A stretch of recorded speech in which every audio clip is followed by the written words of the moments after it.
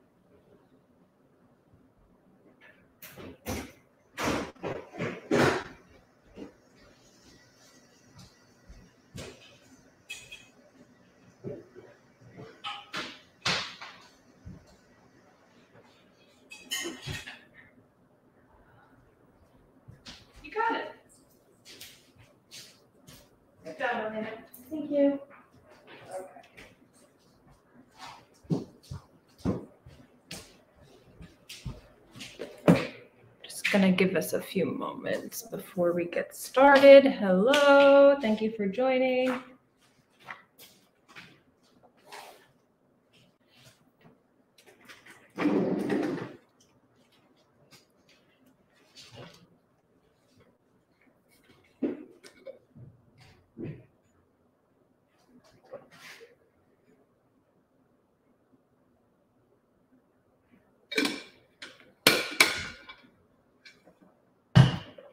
Okay, so we're gonna go live now on Let's see.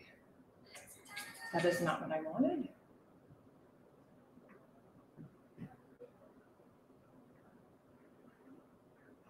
This is what I wanted. Okay. Okay. Should be able to see here. Hello, everyone. Good morning.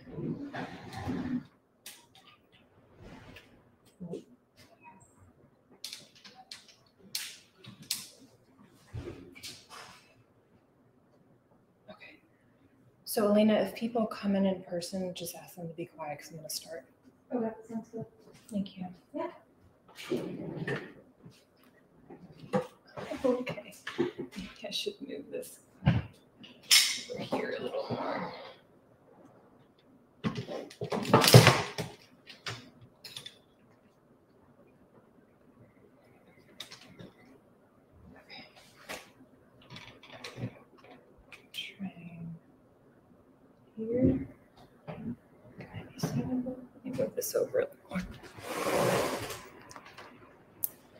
Okay.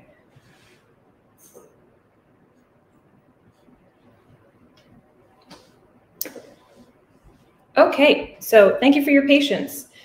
Good morning, everyone. Welcome. Thank you for joining both virtually and in person. My name is Dr. Melanie Carminati.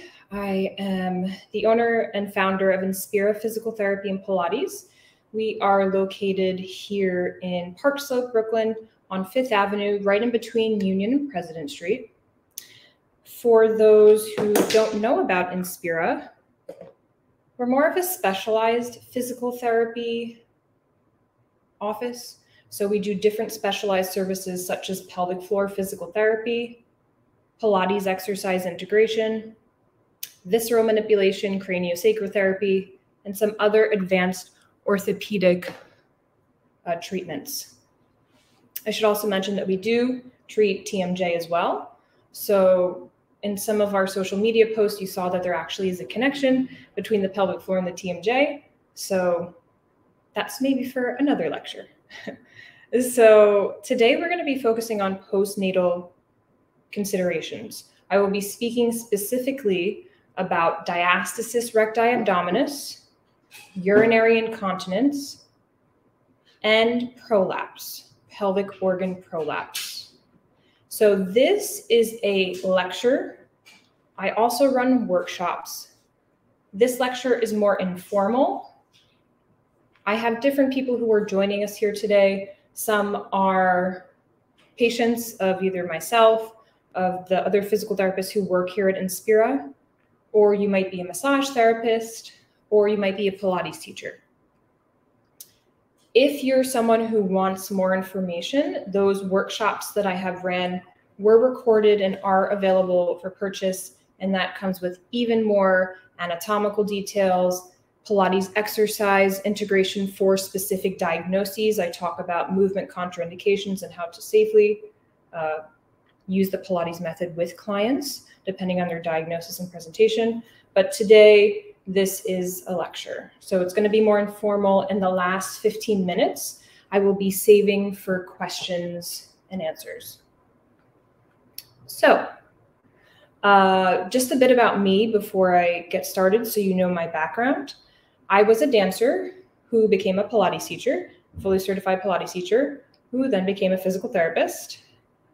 I started out in a very holistic background as a modern dancer, being exposed to different movement modalities such as Alexander technique, Feldenkrais, um, Laban, you name it. And then when I started training in Pilates at 18, that was something that really clicked for me. And I carried that mindful movement with me into my physical therapy practice. And all the physical therapists here are very uh, integrative in how they practice as well. We all do team trainings here too. But the pelvic floor and women's health, men's pelvic health considerations is a particular uh, passion of mine in terms of clinical treatment because I find that there is just not a lot of information out there and there's not a lot of resources. I remember when I started getting trained in pelvic floor physical therapy, I learned things about uh, the female anatomy that I, I didn't know before. And I think that everyone should have this information. So when I'm speaking to you today, I am speaking to you as a health practitioner, as a provider, but I'm also speaking to you as a female identifying individual uh, and a member of the community. So I really hope that we can take this information and use it however is appropriate in your scope of practice. Uh, and also just spread the word and tell your friends, tell your colleagues, because the more knowledge, the better we all will be. So uh, I'm going to start with just some basic anatomy. Then we're going to talk about diastasis recti abdominis first. So when we talk about the pelvic floor, how I always like to describe the pelvic floor is that it is actually part of our functional core. Our functional core is comprised of our diaphragm, the muscle of inspiration, the muscle that we breathe, that we inhale with. That's one of the first muscles of our core. The second muscle, not in any particular order, uh, is the transverse abdominis.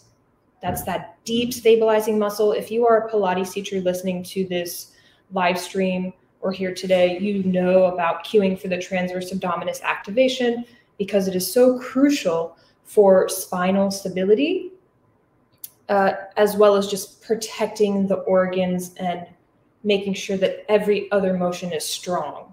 There's a lot of research out there about the transverse abdominis too. Uh, then the other muscle is your lumbar multifidi. So the lumbar multifidi muscle, I have our pelvis here, and you can see the bottom part of the lumbar spine here. The lumbar multifidi muscles are a very interesting muscle group because they're kind of very skinny, but they're smack dab right on the spine. And these muscles help to stabilize our lumbar spine, also part of the deep functional core. I'm going to uh, ask to save questions till the end, if that's okay. So then the fourth and final muscle of our functional core, we have the pelvic floor. So the pelvic floor is a muscle group and the pelvic floor muscles are layers. As you can see here in the pelvis, I have some of the muscles here. I'm going to put the first layer of muscles back on. This is a female pelvis. So you're going to see a vaginal opening. You wouldn't see this in a male pelvis. So right now, this is the pelvis if I were to be facing you. If I were to lay down onto my back, this is what the pelvis would look like. So all of these red structures here, going to bring you guys a little closer. All of the red structures here, these are just layers of muscles. As a pelvic floor physical therapist, we treat everyone holistically. I'm going to talk about that later. Uh, but we are able to identify specific muscles that might be the cause of pelvic floor weakness or uh, pelvic pain, depending on what we find when we palpate. So, but these are the pelvic floor muscles. This is the first layer. If we were to take that back off, you can see some of the deeper layers here in the pelvic bowl. So now this is if I were to lay down onto my back, you can see the coccyx right there. And up top, this is the pubic bone, just for orientation. So those four muscle groups are our functional core. Diaphragm, transverse abdominis, lumbar multifidi, and the pelvic floor. I like to explain what the functional core does as a pressure system. So Brent Anderson from Polestar actually uses the term hydraulic amplifier. But if you don't know hydraulics, and that term is kind of intimidating, I just say it's a pressure system. So those four muscle groups are working to maintain intra-abdominal pressure. So the pressure within our abdomen. In an ideal situation, the four muscle groups are working in synchrony. But when those muscle groups aren't working in synchrony, what can happen is you can experience back pain, urinary incontinence, and a slew of other conditions and presentations. So for diastasis recti abdominis, diastasis recti abdominis is the separation in our six pack musculature. So the six pack musculature is the rectus abdominis. This is the most superficial muscle group. I say six pack because when you see defined abs and someone wanting um, that look, that's actually a superficial muscle. It is more of a global mover. It is not involved in maintaining that uh, intra-abdominal pressure. So when the separation happens in diastasis recti abdominis, there is a separation in the linea alba that runs from the xiphoid bone all the way down to the pubic bone. The linea alba is connective tissue, fascial in nature, that kind of keeps the six pack, keeps the rectus abdominis together. There are certain populations or groups of people who you can see diastasis recti in. Most commonly, it's known in uh, pregnancy and postpartum uh, women, but you can also see it in high level athletes, uh, military uh, veterans or active military members from carrying heavy weight, and or individuals who are categorized in the uh, BMI uh, category of obese, of having obesity. So things that cause that separation are just uh, the anterior pressure coming from the inside of the abdominal cavity that causes the separation in the six pack. There are some other things that predispose someone to having a, a separation, a diastasis recti during pregnancy. And I'm just going to list them. Uh, some of them are having uh, more than two pregnancies, having pregnancies after the age of 35, which is extremely common now, but it is something that can predispose you. Uh, doing heavy weightlifting. Um, I can't remember the exact amount of times per week, but heavy weightlifting does uh, put a lot of intra-abdominal, how should I say, puts a lot of pressure in that intra-abdominal space and can predispose you to it. Also, if you have any uh, genetic predisposition to muscular abnormalities in the abdomen, I've actually had a patient who, at the age of eight years old, had an abdominal hernia and just had a very soft uh, structure in her abdominal wall. So those things, any previous abdominal histories, previous abdominal uh, abdominal surgeries, this can predispose you to diastasis recti abdominis as well. So what can we do? So there's some things that you can do while you are pregnant um, in just trying to prevent the presentation of diastasis recti abdominis.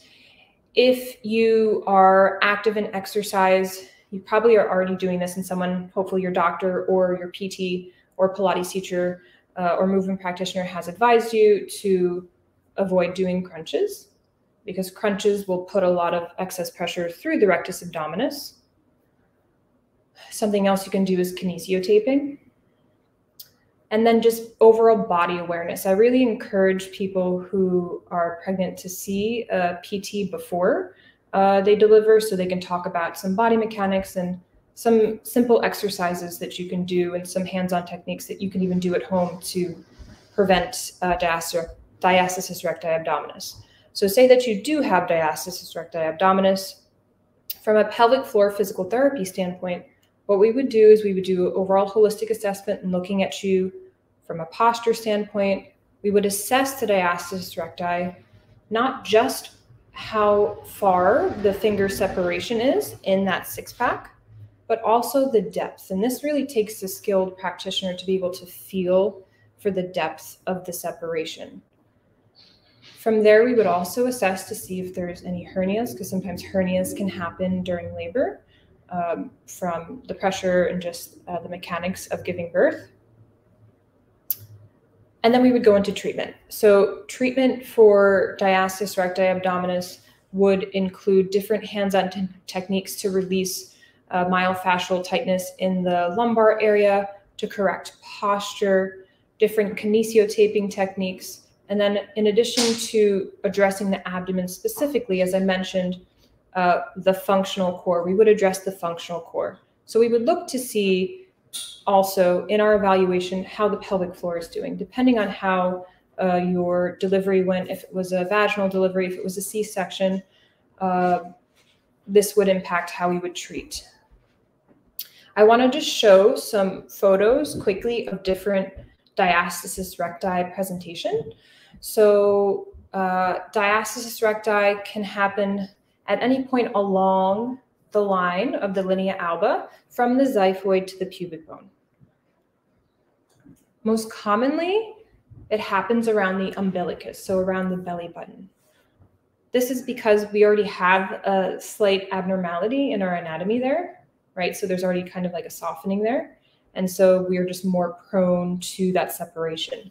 But also, if you've been pregnant or if you've observed someone who's pregnant, you can see how the belly is when someone's pregnant and where that, that mass is falling. It's really falling around that S2 level of the spine, which is umbilicus.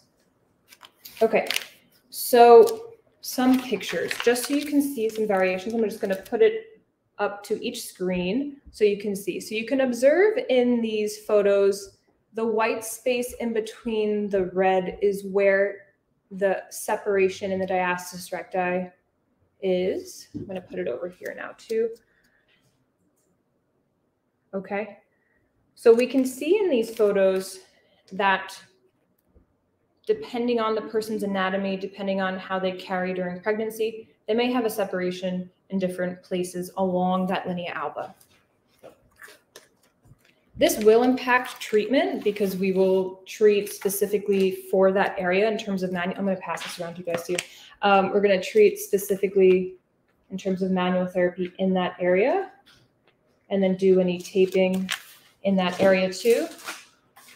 Give me one moment. I just lost the page now. Um, here it is. So if you guys want to, yeah.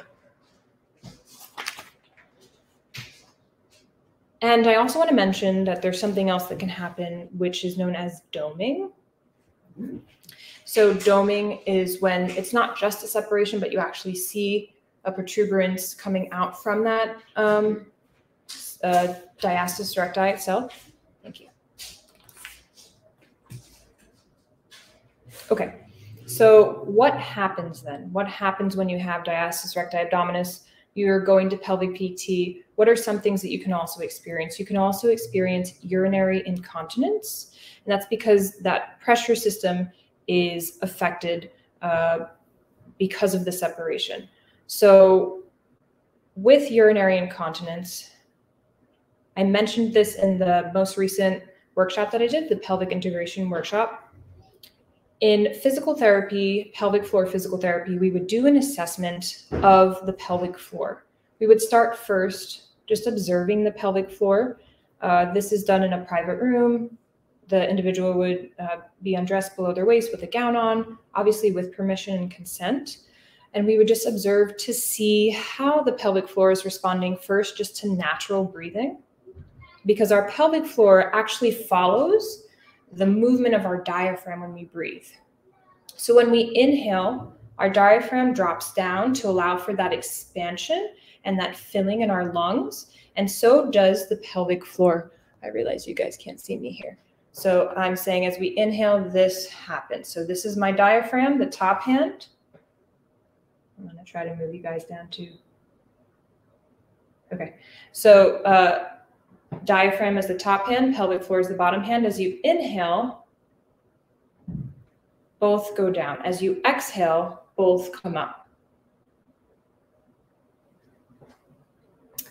Um, that is what we're watching for when we do the first observation and pelvic floor uh, assessment. From there, we would go into some external palpation just to make sure that there's no pain or muscular tenderness in the pelvic floor muscles externally. And then, with permission, with a gloved hand, we would do internal uh, pelvic floor assessment. So, for the internal pelvic floor assessment, I'm going to just demonstrate on the uh, female pelvic model with a gloved hand. We would insert a finger uh, vaginally.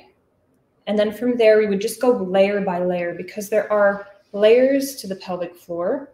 We wouldn't go um, all the way to the depth of it. We would just check to see because sometimes there are tender points at different levels. But once we go through all the levels, we can check pelvic floor strength by cueing someone to do what is known as a Kegel. Now, I hesitate to say that word because there's a lot of misinformation out there about Kegels. Historically, Kegels were actually used to treat urinary incontinence. Dr. Arnold Kegel was an OBGYN who thought of this conservative treatment to help manage urinary incontinence. And when used properly, it does work very well. Um, but it's a matter of knowing if you're properly uh, completing the Kegel. The only way to know for sure is to have a pelvic floor assessment with a pelvic floor PT or with your OBGYN. Anyone who is a licensed healthcare professional to to check to see because you need to be able to feel internally that there's a contraction around if there's a finger inside around the finger, but also it's not just a contraction, it's a contraction and a pulling inward. So if we grade muscle strength in physical therapy, we grade like bicep strength, uh, hamstring, glute strength by resistance and holding. It's the same thing in pelvic floor, except it's with an internal um, finger, and you're feeling for a contraction around the finger and then a pulling in. So the only way to know for sure is to have a pelvic PT assess.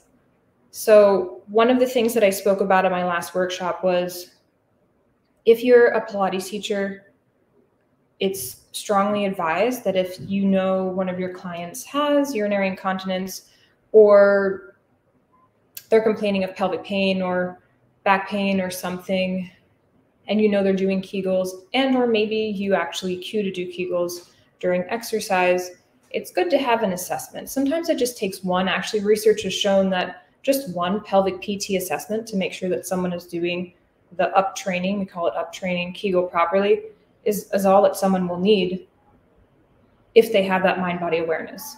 But many times, pelvic PTs, we see people who um, are a little more disconnected from their core. Maybe they're not movers, they don't really exercise, or they sit at a desk for a long time, then all of this immobility just impacts the ability to properly engage in those pelvic floor muscles. So, uh, that being said, Kegels and uptraining are an effective uh, treatment for urinary incontinence when used properly.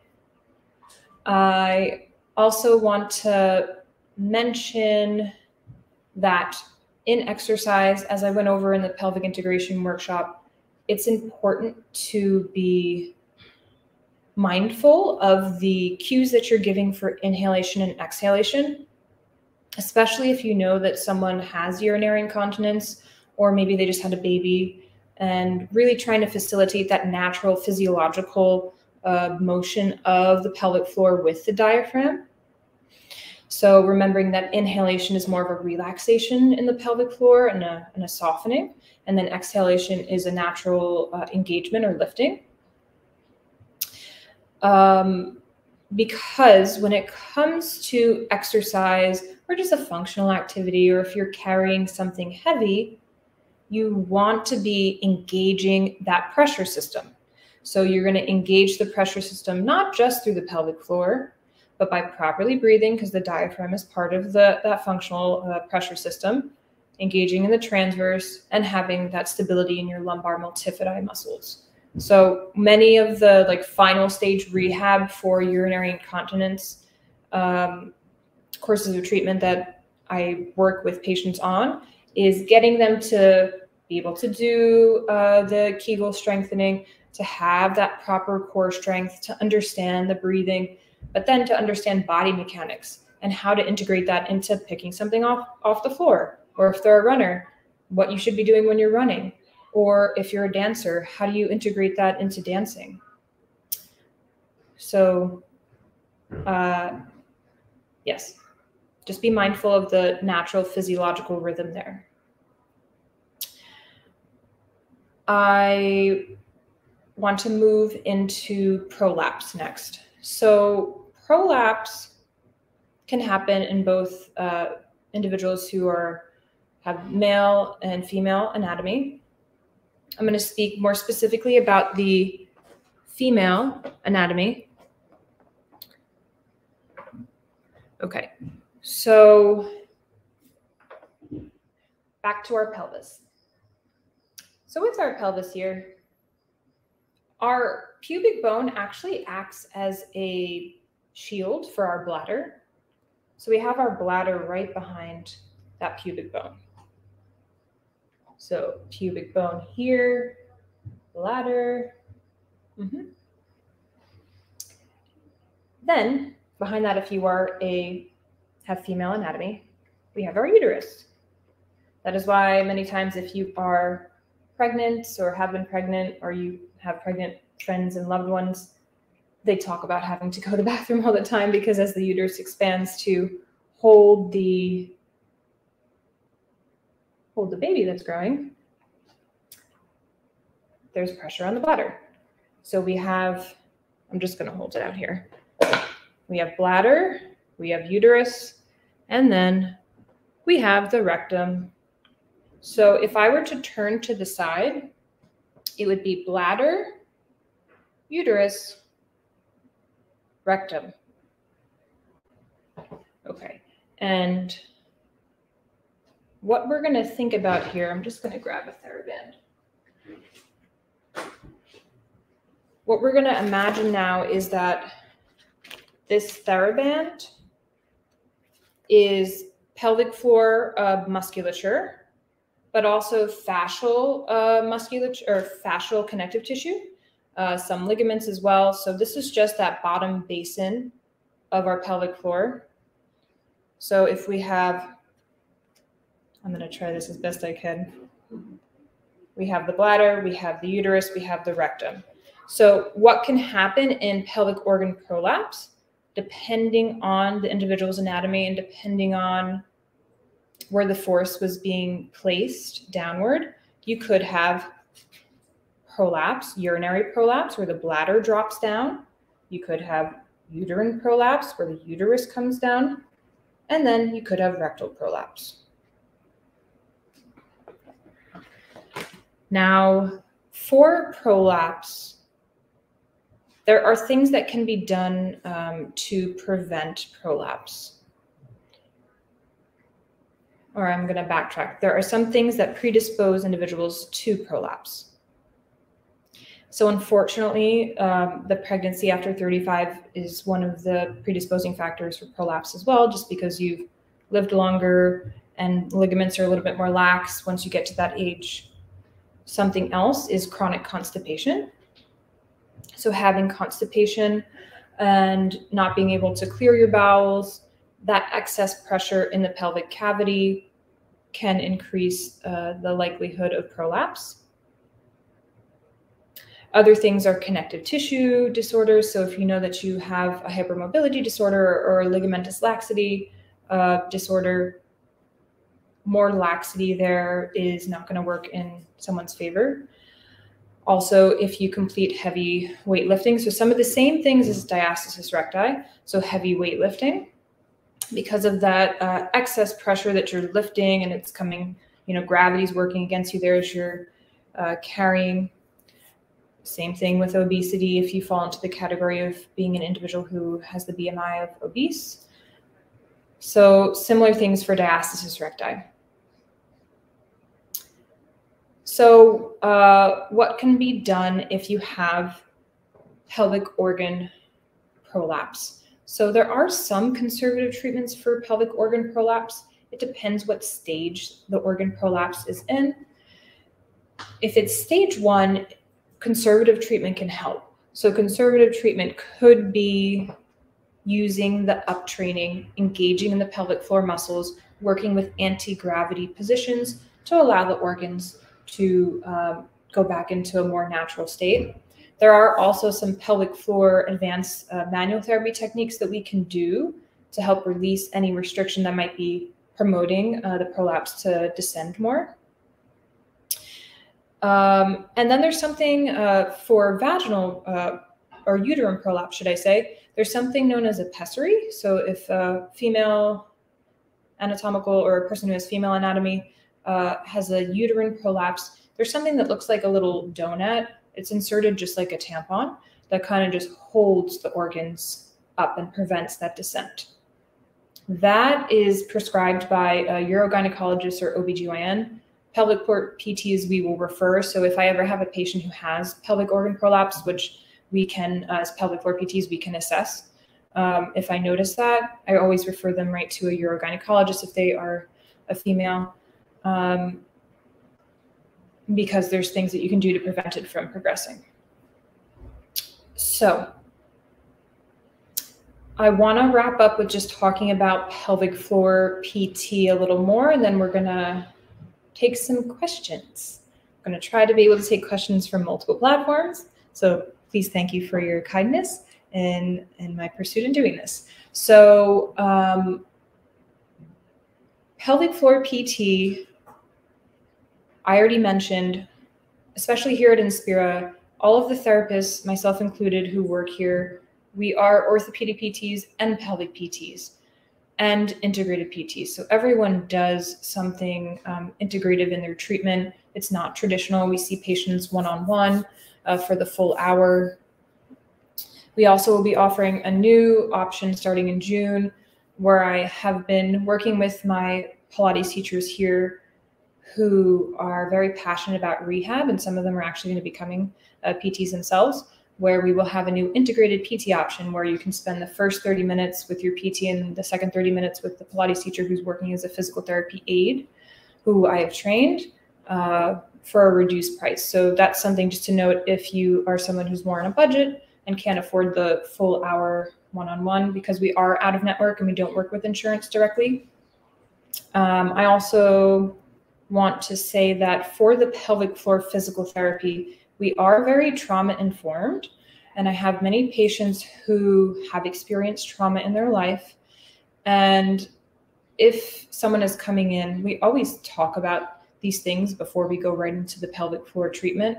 Many times in a first evaluation, I may not get to do the pelvic floor internal work or the internal pelvic floor assessment because we just met and you know, we want to just talk about everything first and the patient has to be comfortable. So patients are always in control of whatever happens during their, their sessions. Uh, we are big on manual therapy here, and then we also integrate the Pilates exercises because Pilates is amazing. I have many Pilates teachers who uh, will refer patients to myself and to my team for an evaluation uh, for orthopedic things as well. So if a patient has back pain and something or some other new diagnosis or complaint has come up during a Pilates session, uh, the Pilates teachers will refer to me and just be like, Melanie, can you check this person out? Let me know what you think. And I do collaborate a lot with Pilates teachers in Brooklyn um, because since I am was a dancer and am a Pilates teacher as well, we kind of speak the same language too. So it's nice to be able to just be like, okay, when they're doing footwork, you know, try to cue them like this, or I recommend this instead of that, or hold off on doing, I don't know if there's something advanced, hold off on doing monkey on the tower. So um, there's that.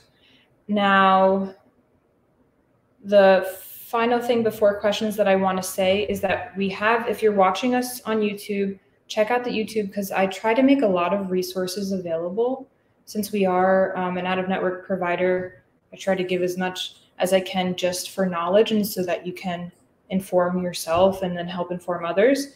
There's a lot of uh, mini lectures that I've done on the YouTube. Also, we have a podcast. It's uh, the Know and Do Better podcast. I interview different uh, physicians, health practitioners, the uh, Pilates teachers. The last podcast I we just released was with Blossom Leilani Crawford, who's an amazing Pilates teacher, and we spoke about the power of one small change. Uh, before that, we spoke about emotional release and our physical bodies. I spoke to a psychotherapist, psychologist who uses hypnosis in uh, her therapy. And then before that, uh, sex after 70. So check out that podcast as well. And now we'll get into questions. What is pelvic floor? What is what? Pelvic floor. What is the pelvic floor? Yeah. Okay. So the pelvic floor is uh, a muscle group. So this is a pelvic. If you are virtual, you can just uh, type in questions in the comment section, and then I will I will be there to answer in just a moment. Okay. So the pelvic floor is a muscle group the muscles run from our pubic bone to our coccyx, so the bone in the front here to that bottom tailbone, kind of like a sling. And there's multiple layers of it. So the pelvic floor muscles, they work in unison in an ideal situation with other muscles. We spoke about uh, one of the deep core muscles, the diaphragm, and one of the back stabilizing muscles and it just works to maintain intra-abdominal pressure.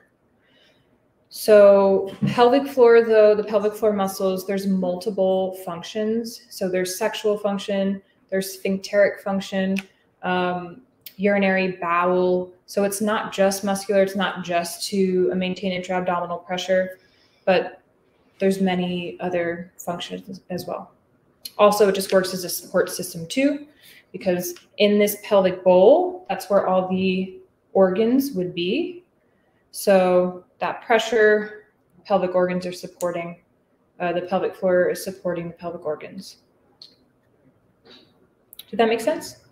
Mm-hmm. Yeah. I'm just going to look on here for any questions. I'm looking to see. Okay, anyone virtually have any questions about diastasis recti abdominis, urinary incontinence, pelvic organ prolapse?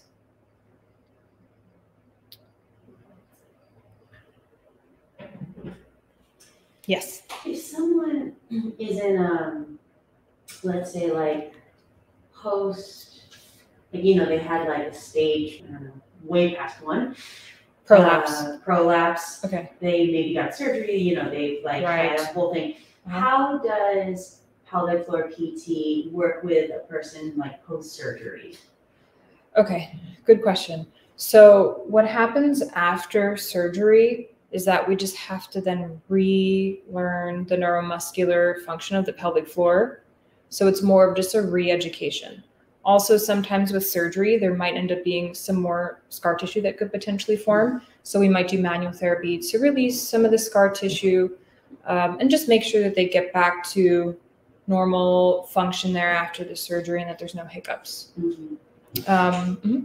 And with that, uh, like, I would assume you're also looking at that deep core Yeah, yeah, a lot. Uh-huh. And just like functionally, like yes. how they're moving your body. Yes. So we would initiate we would initiate with some basic foundational uh, exercises in rehab, um, especially for Pilates rehabilitation. The progression from position is supine, prone, side lying, quadruped, which is on your hands and knees, sitting, standing. And so once we're able to move through being able to maintain whatever the goal is, uh, if it's to maintain the intra-abdominal pressure and integrate that functional core in all those positions, then we would take it into squats, um, single leg squat, getting up from the chair, bending over to pick something up. So um, yeah, and then everyone's different. So maybe that person is a runner, or maybe they want to golf, or maybe they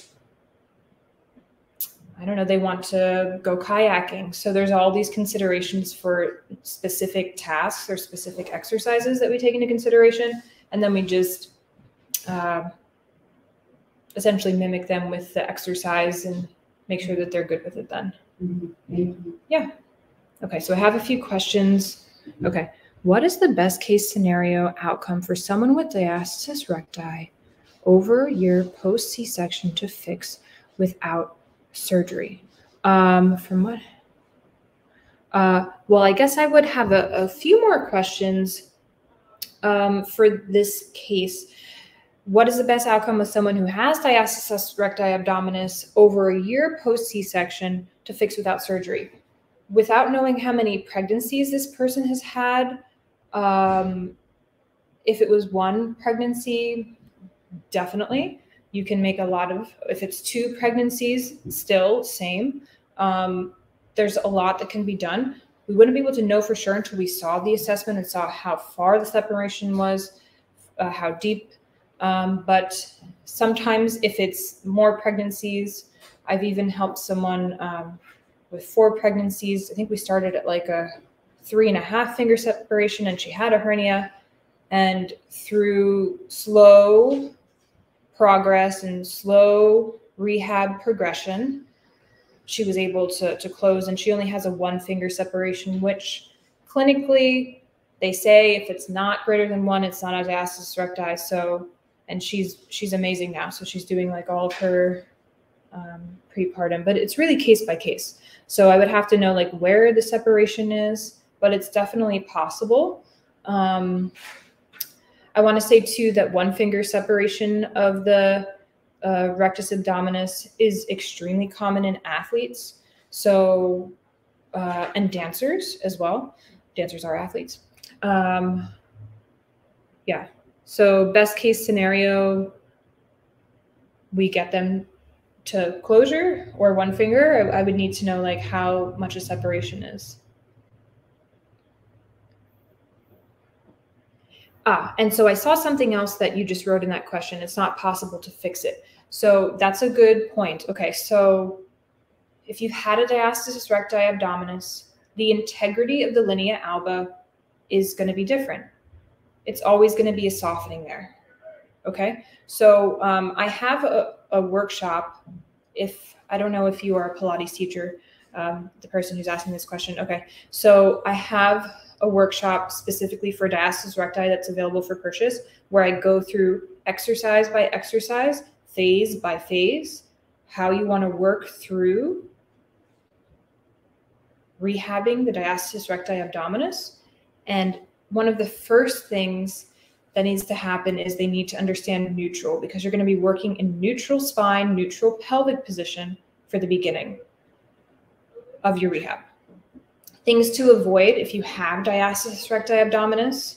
Initially, not forever, but initially you want to avoid crunches, exercises with both head, uh, with, with your head lifted, with your chest lifted, exercises with both legs in the air, and initially, but not forever, planks. Not forever, but initially until you can maintain that proper uh, closure, that proper engagement many times, planks, because of gravity, it just, it's very hard to work against. So I always recommend avoid crunches in the beginning in that first phase of rehab, avoid exercises with both legs lifted, and then avoid planks in the beginning. But planks are an end stage exercise. Did that answer your question?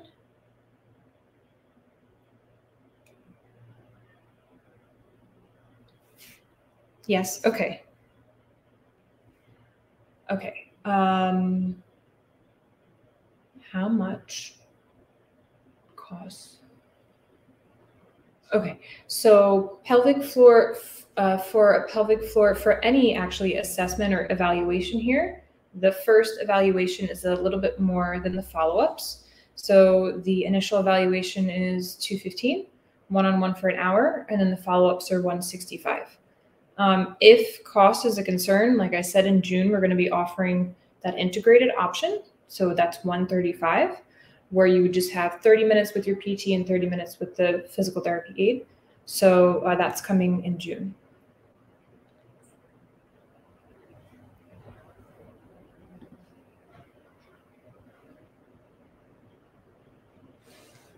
Any other questions?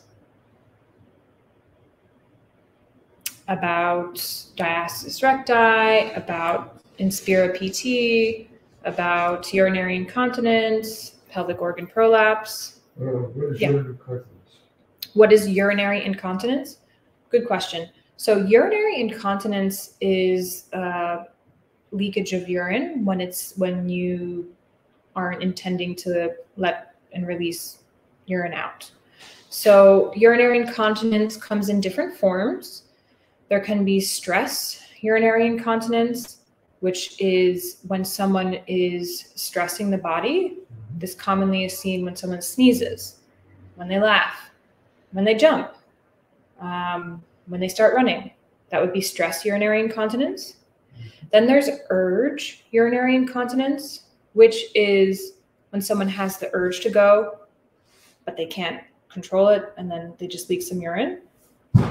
That is more of like a neurological rehab or neuromuscular rehab thing that we have to do with retraining how to breathe, retraining um, some of the loops. There's these loops um, called Bradley's loops that control different regions of our brain for uh, engaging in the pelvic floor. So actually, what happens, our bladder fills up. Once it gets to about half full, we get that first, oh, you know, I think I'm gonna have to go. And then our brain tells the pelvic floor, let's engage so we don't let any let any urine out. And then once your bladder is very full or you're in a place where you can go in a healthy individual, then you're able to to control, go to the bathroom, release your pelvic floor, and then the detrusor muscle, there's actually a muscle in your bladder. It's in the wall of your bladder that contracts to let the urine out.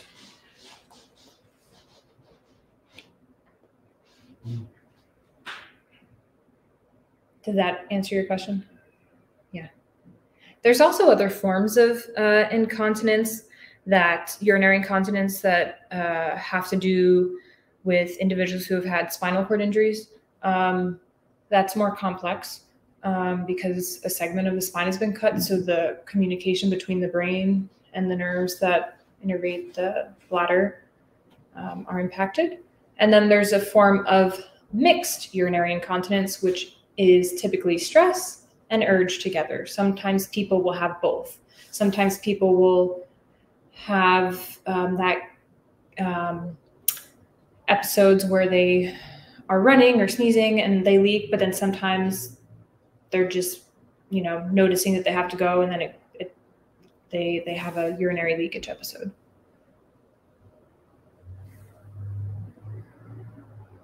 Any other questions? Hello, Marjorie.